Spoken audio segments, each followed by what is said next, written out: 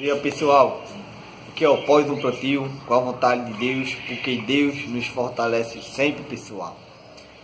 Hoje pessoal eu tô com uma super dica para vocês. Hoje nós vamos estar fazendo a estaquia da mexerica pocã no algodão, gente. É, é possível sim, nós fizemos. Aí tem pessoas aí que tá perguntando, mas pós, esse vídeo já tem na internet e você não criou eu sei, gente, que não foi eu que criei, eu sei que já existe. É, nós não estamos aqui para competir com ninguém. O que eu quero é passar para vocês o que eu aprendo e o que eu sei e o que dá certo. Tá entendendo?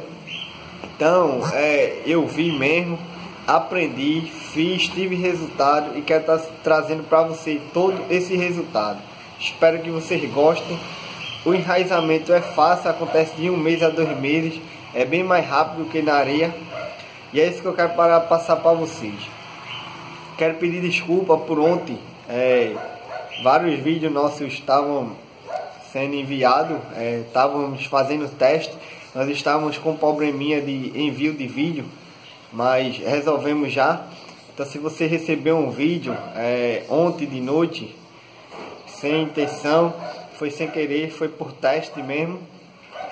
Mas hoje nós já estamos aqui com a graça de Deus. Então vem comigo que o vídeo é bom. Voltamos aqui, gente. Como vocês estão vendo aí, nós estamos aí com essas mudas aí é, propagadas. Estão todas germinadas. É, mexerica pocã. Esse fruto aqui, gente. É, esse fruto foi de lá, dessa árvore. Nós tiramos. É, mas sendo que agora, no tempo que a gente pegou esse fruto, não pode se fazer é, essa estaquia. Por que não pode? Porque ela está em tempo de frutos, gente. Então, quer dizer o quê? Quer dizer que o galho não tem força para é, enraizar. Ele, o galho está se dedicando à vida deles é para produzir os frutos. Então, toda a energia que tem no galho vai para a fruta. Então, esse momento agora de frutificação não é um momento ideal para você fazer estaquia, nem no momento de floração. Tá entendendo? E como vocês estão vendo, Todas as estaquias aqui estão enraizadas. É, todas foram feitas no algodão. Como vocês estão vendo, deixa eu pegar aqui, ó, para estar tá mostrando a vocês, ó, as raízes. Como vocês estão vendo. É, como vocês podem ver, já estão nascendo novos, novos brotos pequenos, ó. Como vocês estão vendo, já estão nascendo novas folhas todas enraizadas nesse mesmo procedimento no algodão. É, essa experiência no algodão, é, eu estou tentando fazer já faz um mês que eu vi essa propagação aí e vou, vou fazer para ver se dá certo, né? Fiz, tive o resultado, é, tive resultado já da jabuticaba e do limão Tahiti. É, eu tenho outras estaquias é, no algodão, mas ainda não sei se vai enraizar ou se vai propagar. Essas estão enraizadas porque essas nós, nós obtemos o sucesso, né, gente?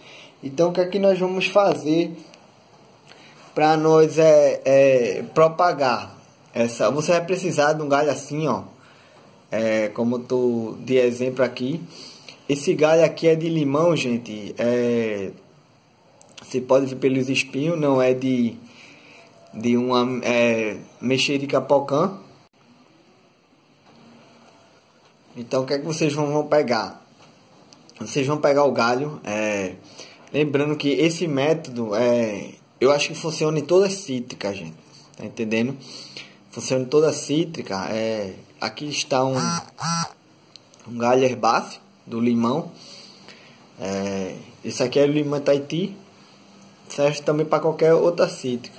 O que aqui nós vamos fazer?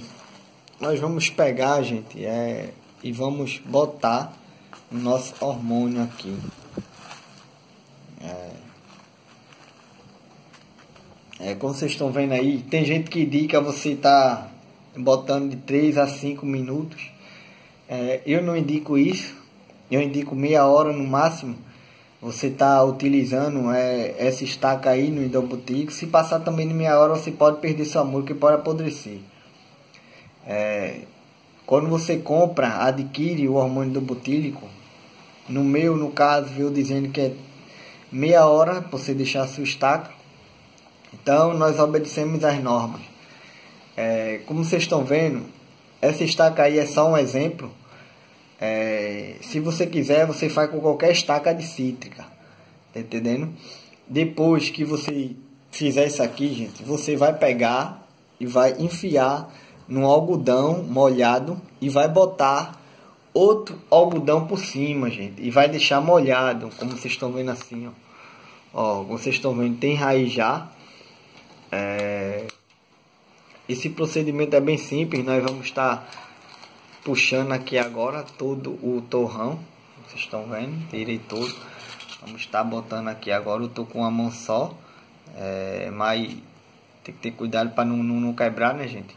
Deixa eu puxar.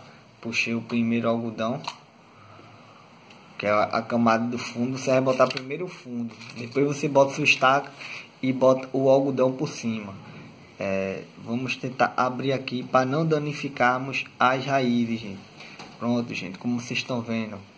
É, Soltou-se agora, ela sobreviveu esse tempo todinho, a folha. Veio cair agora, gente, mas não tem problema porque elas já estão com brotos novos. A mesma coisa essa aqui, ó. Eu esqueci de falar, você vai deixar uma folha ou a metade de uma folha. No caso dessa muda aqui, eu deixei uma folha. Se ela cair, não tem problema. Quando ela cai assim, gente, quer dizer que ela tá é, eliminando o que vai consumir força. Então ela está sendo inteligente, porque ela soltou essa folha para se dedicar às raízes. Então ela é uma muda inteligente. Entendendo?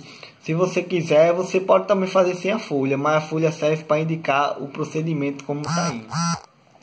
E como você está vendo aqui, ó, ó é, eu não vou, eu não vou puxar muito, gente, para não quebrar a muda. Já deu para vocês ver que enraizou, é, está grudado ainda aqui. Eu vou aplantar no algodão mesmo, para na terra, botar do jeito que está aí molhado, você pode plantar na terra, botar.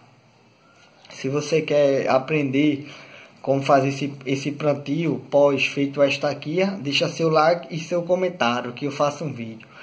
E a fruta é essa aqui, da nossa estaquia. Essa fruta foi da, da do pé da mãe, é, está com frutos lá.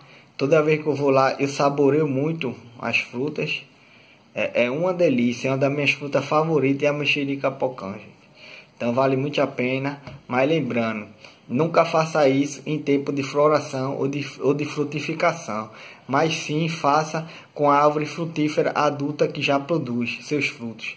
Então o vídeo já é esse, pessoal. Espero que vocês tenham gostado. Se vocês gostou, vocês dão um joinha. Amanhã nós estaremos aqui nesse mesmo horário, nesse mesmo programa. Fiquem com Deus e tchau, tchau, gente.